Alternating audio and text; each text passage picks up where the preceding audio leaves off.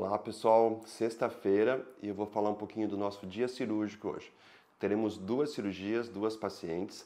A primeira cirurgia será realizada aqui na clínica mesmo, é uma paciente jovem de 38 anos de idade.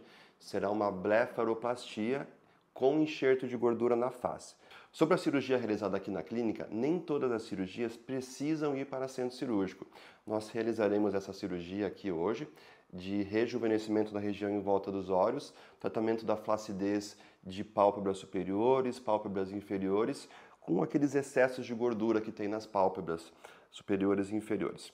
Então, a gente vai realizar essa cirurgia é, e os cortes, eh, as incisões sempre são dúvidas dos pacientes. Aonde vai ficar a cicatriz, como serão os cortes. Da pálpebra inferior, a cicatriz fica bem coladinho aos cílios, tá? Então fica praticamente imperceptível. Da pálpebra superior, a cicatriz fica colocada no sulco. Quando a gente abre os olhos, faz um sulco e é aqui que vai a cicatriz da pálpebra superior. Essa paciente se queixa de quando ela quando ela vai fazer a maquiagem nos olhos, ela tem dificuldade, aquela pelezinha flácida não deixa que a, a maquiagem apare, apareça, seja visível. Isso incomoda ela bastante.